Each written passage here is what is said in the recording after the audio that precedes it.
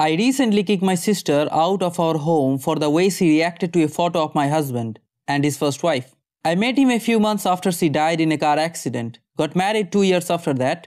We have been together six years. He was devastated when she died. I told him I never expected to replace her in any way and considered myself another chapter in his life. I was warmly accepted into the family and his circle of friends. My sister recently, she fell on hard times, lost her job, apartment, and so on.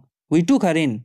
My husband has always had a home office. My sister was poking around the house when he was out and discovered a photo of him and his first wife among the framed pictures he has. It's not their wedding photo or anything, just a typical cute couple photo. It's the only printed photo of her in the house, taken a few months before her accident. They didn't have kids, so pics are all he has. There are a lot more photos of us. I was reading on the couch when my sister came stomping into the room holding the framed photo. She angrily asked, Why do you let him keep a photo of his ex in your house? I replied, First, it's our house, and second, she's not an ex. She died in an accident and was his wife for 8 years. She was a huge part of his life. He keeps that one photo out. She replied, An ex is anyone you have slept with who is not in the picture anymore. Me. No, that's not how it works. She died. Sis. Doesn't matter. So what if she got pasted by a truck and X is an X?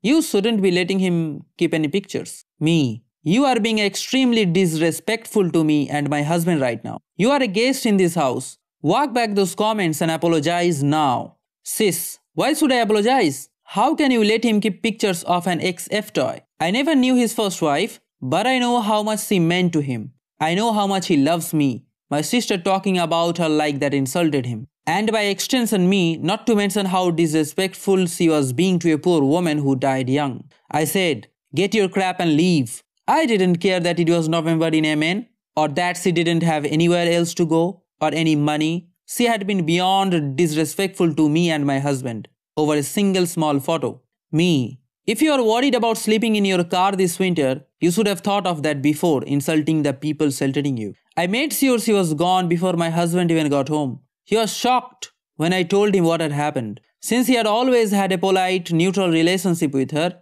he thanked me for having his back. I got a call from my mom telling me it was my responsibility to take care of my sister. I laughed and hung up. I have been asked by a few people how I could basically destroy my relationship with my sister over this, and have replied that she was the one who did so. Am I the idiot for how I handle this? Not the idiot. I'm currently dealing with stage 4 cancer and I may not have that long left. My fiance is only 25 years old. Not only do I expect he will be with someone after I'm gone, but I hope for it. I don't want him to spend the rest of his hopefully long life alone and mourning over me. You did exactly the right thing. And I can only hope that whoever loves my fiancé in the future will respect my memory as much as you respect your husband's first wife's. Good on you. Not the idiot. You didn't kick her out over a photo. You kicked her out for being disrespectful, rude, and absolutely inconsiderate. You are right about your husband's late wife. She is not an ex, and nor is she a F toy. She was your husband's wife. To say that she was a F toy was just purely disrespectful to the poor woman's memory. What does your sister expect? For your husband to forget all about his late wife? They didn't break up. One of them died. It's not an X situation. As you said, you're a new chapter. That doesn't mean you burn the old chapter.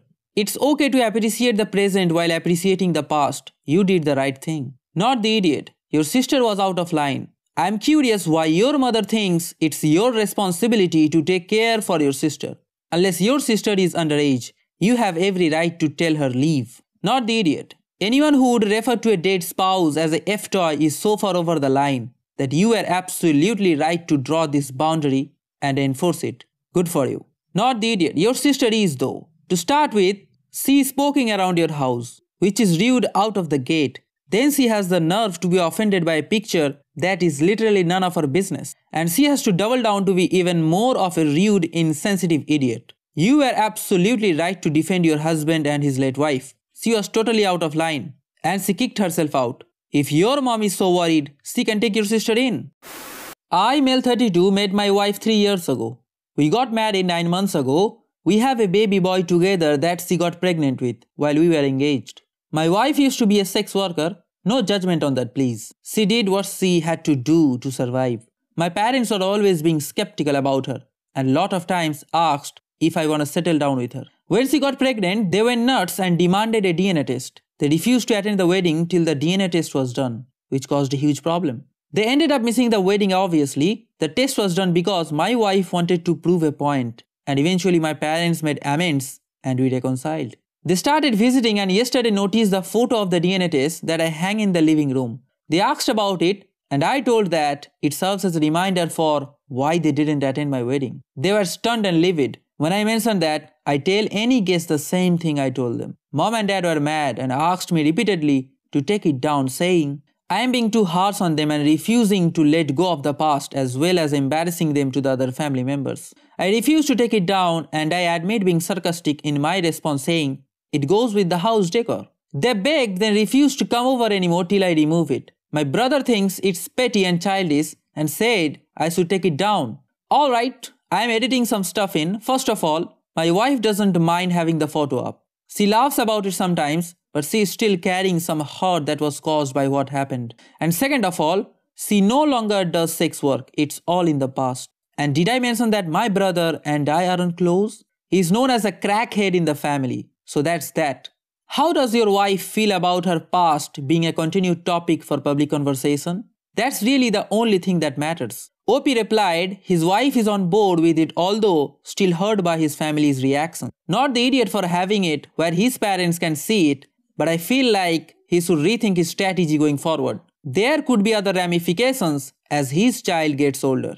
Not the idiot. I find it petty telling by their attitude towards the DNA test isn't out of shame for how poorly they treated your wife for being a former sex worker, but rather what other people would think of them.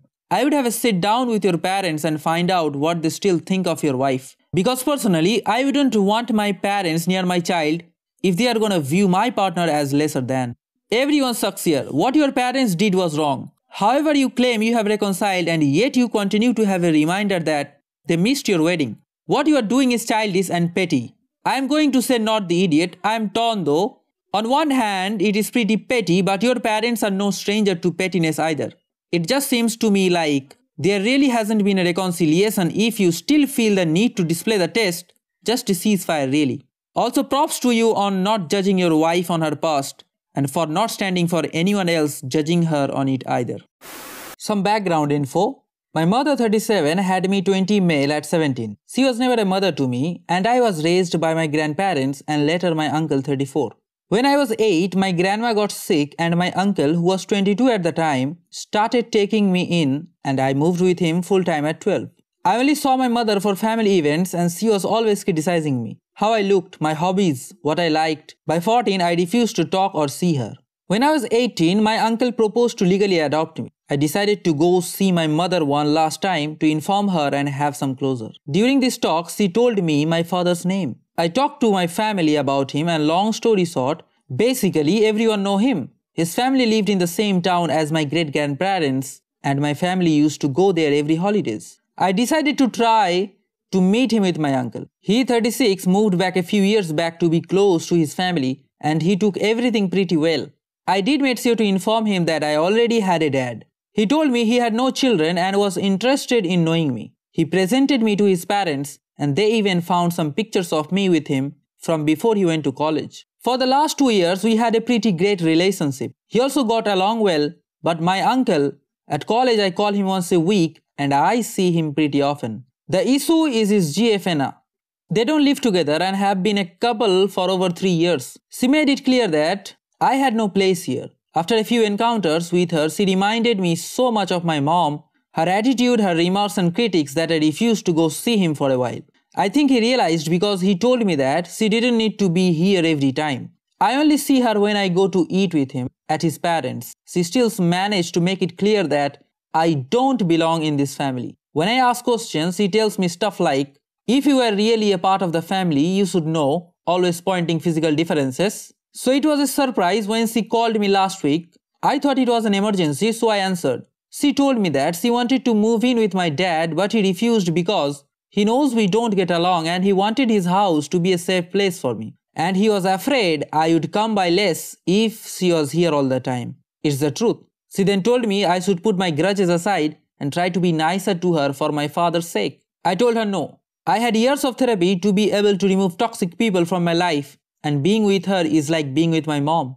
I do not want to put myself in this kind of situation anymore. I talk to my uncle and he agrees. For him, my mental health should always be my top priority, but some other people think that I should at least make an effort for my father's happiness, and that it would be selfish to not try. Not the idiot. Please tell your father she called you and what she said. She was way out of line to contact you, especially since he had set a clear boundary. Your father decided your feeling safe at his home was more important than moving in with her. So everyone who says you should put his happiness first needs to be quiet. He made his decision. Not the idiot. If she can't play nice, why would you? If she makes a genuine effort to get to know you and be a nice person, then you should try too. But if she is going to continue to make you feel unwelcome, not effort needed. Absolutely not the idiot. I am so sorry all that happened to you. I am also so glad you were blessed with such an amazing, amazing uncle, dad. Which was your bio dad all those years? If you were in pictures with him, he knew about you. It's great he wants to protect you and keep you safe, if she were to move in, you would need to meet him somewhere else to visit and catch him. I'm sorry she's been so unkind to you. That's not okay at all. I'm proud of you for standing up for yourself. Not the idiot, and I am glad your dad is looking out for both you and your relationship with him. It's not up to you to disregard her toxic behavior towards you. It's up to her to change her behavior. Not the idiot. I agree with your uncle. Take care of yourself. By the way, she has only been in your dad's life one year longer than you. Talking about someone who thinks he has competition, even though it doesn't seem like you are trying to compete for him. Update. So at first, I wasn't sure about making an update, but the comments I got really helped me. You are all saying what my uncle and some friends were saying to me, but it's different. Hearing it from people who don't know me and aren't biased. After reading your comments, I realized what the issue was. When I explain my family situation to people, a lot of them, not close friends and immediate family, say the same thing. How lucky I am to have a bio dad who wants and agrees to spend time to get to know me. How grateful I should be. My bio dad or his family never made me feel like that. But I guess that after hearing a lot of people saying it, it kind of got to me and I realize now that I was restraining myself to not disappoint him. I guess in my mind I had to work and be nice to have his affection because I did not deserve it. You can blame my bio mom for that. Anyway, after realizing that, I also realized that I never told him and his parents how his GF was treating me. And I also realized he was smart enough to do it when they were all out of earshot. I am a non confrontational person and I was scared to say everything at once to my bio dad. And I was afraid to not be able to express properly everything I wanted to convey. I talked to my uncle about it and he proposed to make an appointment with a therapist to have a kind of family session so it would be easier for me to express myself.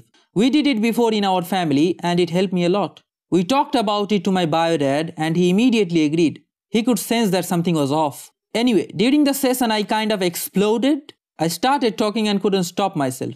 At first I felt that it made no sense because I was saying everything and nothing at once, but luckily the therapist helped a lot. We all had a very long talk and put everything on the table my bio dad had no idea that it was this bad with his GF, and he was really appalled and remorseful for not realizing it. Something that angered him and my uncle a lot was the comment about me not looking like my dad, which I never took notice of because it's true. My mom and uncle are half Filipino, and I took everything from the Filipino side except his dimples. Apparently, the comments about me not being part of the family was because of my racial background. So yeah, on top of everything, she was racist. All of this happened last month and since then, he broke up with her.